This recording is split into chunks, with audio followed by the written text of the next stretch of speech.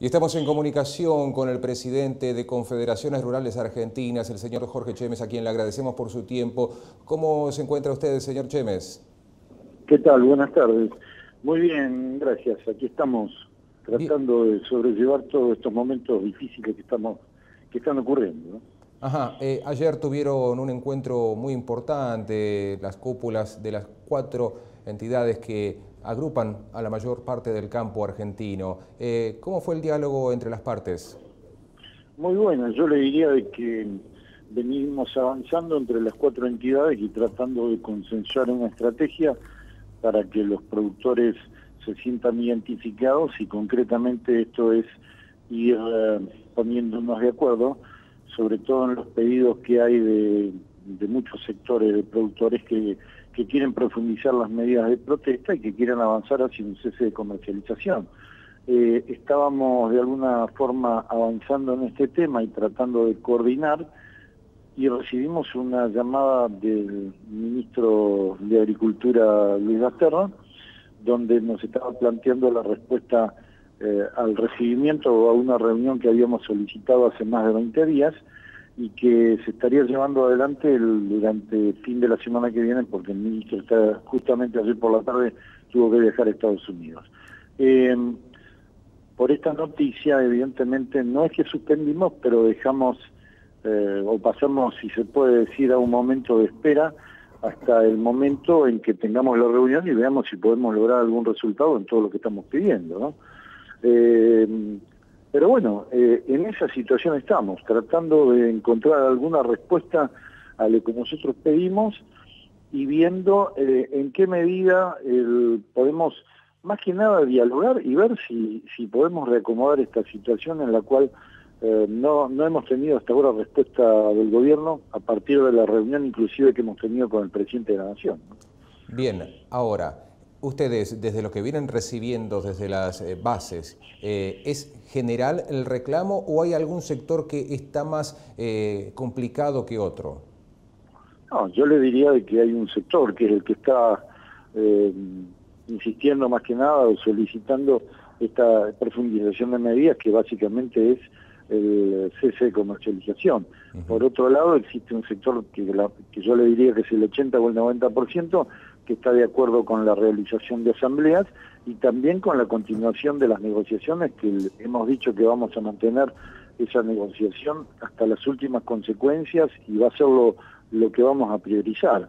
Pero sí hay, vuelvo a insistir, este, algunos sectores que están pidiendo que se profundice esta medida y nosotros como, como dirigentes tenemos la responsabilidad de tratar de, de consensuar o de llegar a un punto intermedio donde todos, todos los productores se sientan representados.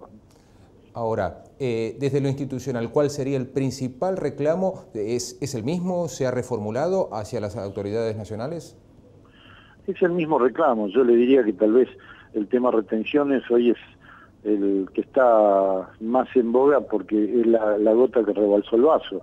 Pero acá el problema es la carga impositiva que viene soportando el sector durante hace mucho tiempo y que se fue agravando, se fue incrementando, esto hizo que se deteriore la rentabilidad y la verdad eh, y la realidad de todo esto es que hoy el productor no le alcanza para, para cubrir todas las necesidades que tiene que llevar adelante. Por eso digo, no solamente es el tema de retenciones, yo creo que hay que hablar de un problema eh, de carga fiscal excesiva que ya no se puede. Así que hay que hablar de todo y poner sobre la mesa a ver cómo podemos reacomodar esto y que en la cuenta final el productor se vea aliviado. ¿no?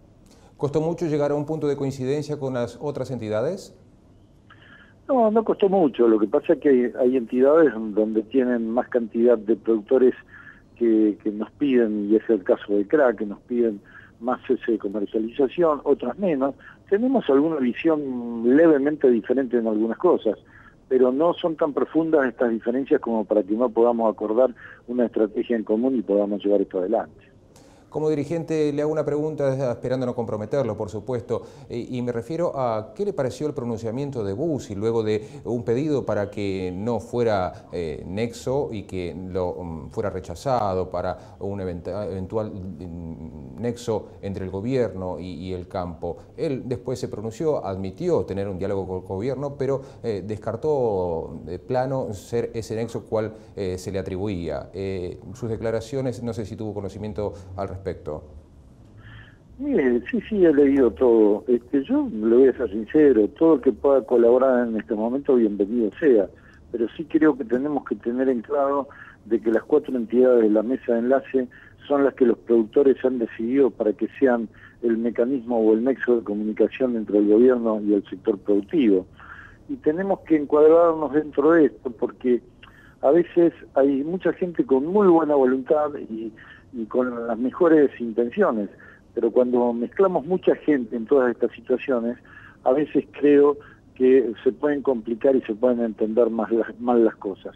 Y además yo creo que los cuatro presidentes, eh, digo, o en este caso Bussi, eh, ocupan un lugar histórico en todo esto que es importante que se conserve porque han sido figuras que han tenido un lugar preponderante y creo que hay que conservarlo en la historia de la lucha gremial agropecuaria. Bien, ¿cómo esperan llegar a la reunión con Basterra? ¿Tienen unos días para prepararse, para discutir algunos puntos? Porque desde el otro lado de cualquier negociación siempre lo van a decir, mire, les dimos esto, les dimos aquello, eh, conseguimos extender el plazo de la cuota Hilton, ahora le vamos a preguntar también sobre eso, Chemes. Y también, bueno, mejoraron los números en lechería. Eh, ¿Ustedes esperan alguna cuestión ya de antemano? Nosotros esperamos que de tener por lo menos alguna señal o alguna respuesta aunque sea mínima, a lo que nosotros estamos planteando. El gobierno lo tiene, se lo hemos planteado al presidente en la reunión que tuvimos el 23 de diciembre, y esto hace que estemos ansiosos porque de alguna forma pondría un poco de claridad o sería, vuelvo a repetir, una señal eh, que el productor está esperando para ver si este gobierno realmente arranca con un proyecto de política agropecuaria de Estado. Le pregunto por temas puntuales. Eh, situación de la lechería hoy, ¿cómo está? ¿Ha mejorado los números en tranquera, los números de la industria?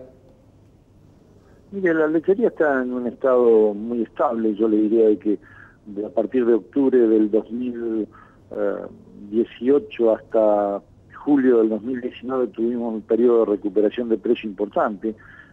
Eso hizo que se hayan podido acomodar algunos números, no le digo todos, pero haber tomado un poco de aire y haber recompuesto un poco la situación para poder seguir.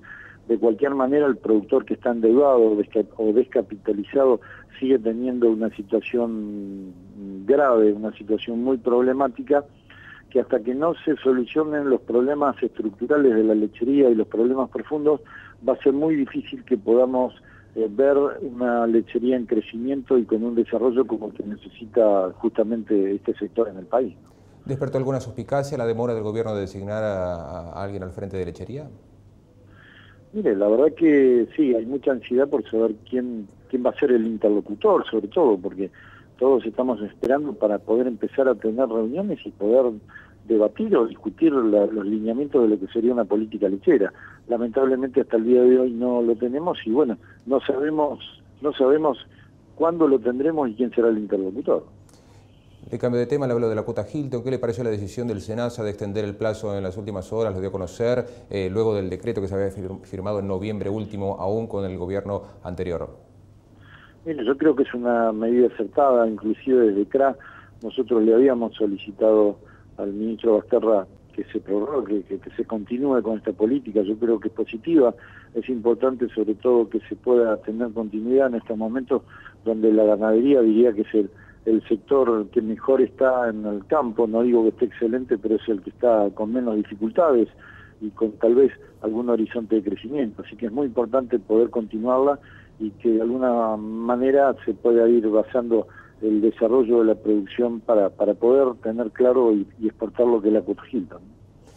Cambio nuevamente de tema. Eh, Carvap es una de las entidades que está dentro de CRA y desde hace tiempo se viene pronunciando para que haya una actualización sobre el tema fitosanitarios. Hace pocos días eh, Rodríguez, a cargo de, ese tema en la provincia de Buenos Aires, ¿no? Eh, bueno, presentó un observatorio para bueno, conseguir información, agruparla y ordenarla. ¿Qué le parece esta decisión? todas estas decisiones yo creo que son positivas en la medida en que haya señales claras. Nosotros podemos generar direcciones y organismos, pero si las señales no son claras en lo que realmente a dónde va a apuntar el país en materia de fitosanitarios, en materia de leyes ambientales, cuando las cosas no son claras, por más que generemos reparticiones, va a ser muy difícil que podamos eh, saber a dónde se quiere apuntar. Por eso insisto, es mucho más importante que se definan políticas, eh, cómo se va a legislar o cómo eh, se va a reglamentar en esta materia y yo creo que el día que consigamos este ordenamiento nos vamos a ahorrar muchos problemas que lamentablemente estamos viviendo. Voy con la anteúltima pregunta, señor Chemes. Eh, debido a las lluvias que ha habido en las últimas semanas, diferentes partes del país realmente están atravesando situaciones complicadas. ¿Usted qué información le viene llegando desde las organizaciones que forman parte de CRA? Estamos comunicados básicamente, y yo le diría que uno de los sectores, las provincias que más inconvenientes tienen es la provincia de Chaco, algún sector de la provincia de Formosa. Eh, daría la sensación de que la situación tiende a mejorar pero bueno, hay que estar atentos porque estos lugares donde se han producido estas inundaciones no es nuevo, ya hace varios años que vienen sufriendo las inclemencias de las inundaciones y las pérdidas pueden ser eh, muy fuertes, sobre todo, insisto, cuando ya hace varios años que vienen, eh, que el clima les viene jugando en contra. Así que de las entidades estamos atentos y por supuesto siempre alertas a que desde lo que se necesite y lo que podamos hacer, ahí estaremos presentes para acompañar y ayudar a nuestros productores. Bien. Voy con la última. Hace unos días, bueno, se conoció que estaba eh, en duda si se iba a realizar en un lugar o en otro eh, Argen Carne, la edición 2020, la segunda edición luego de una exitosísima primera y debut que tuvo en San Justo, Santa Fe, con casi 50.000 visitantes, no solamente de Argentina, sino del exterior. Eh, ¿Cómo viene el desarrollo de esta Argen Carne 2020 que se está preparando? Mira, viene muy bien. Eh, lamentablemente no lo vamos a poder hacer en Santa Fe, por cuestiones y decisiones del gobierno y, problemas de tesorería, pero hemos decidido llevarlo a, Córdoba, el gobierno, ya estamos trabajando con el gobierno de Córdoba, creo que Argencarne no va a tener inconvenientes, vamos a seguir trabajando fuertemente y probablemente podamos eh, generar un evento inclusive de mayor dimensión eh, que lo del año pasado, porque la infraestructura que tiene en este caso eh, la ciudad de Córdoba y la provincia de Córdoba con su gobierno, eh, puede estar al alcance de que podamos crecer más. Hasta ahora viene muy bien, esperemos no tener inconvenientes y que podamos cumplir inclusive con la fecha que se había pactado para que los productores puedan estar presentes. Señor Chemes, le agradecemos muchísimo por esta comunicación con nosotros aquí en Chacra TV, en donde por supuesto siempre tendrá el micrófono abierto para dar a conocer lo que está sucediendo en el campo argentino. Muchas gracias a usted, hasta siempre, gracias. Hasta luego.